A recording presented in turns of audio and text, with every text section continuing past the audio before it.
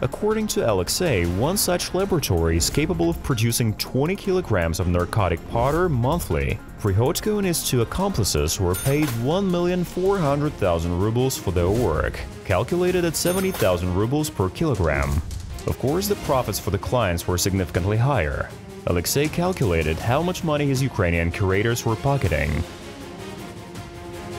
Только за одну партию Дмитрий мог заработать около 10 миллионов рублей. Dmitry could earn around 10 million rubles for just one batch, from which he gives us about 1.5 million rubles. Roughly speaking, it's a salary plus expenses for buying everything else.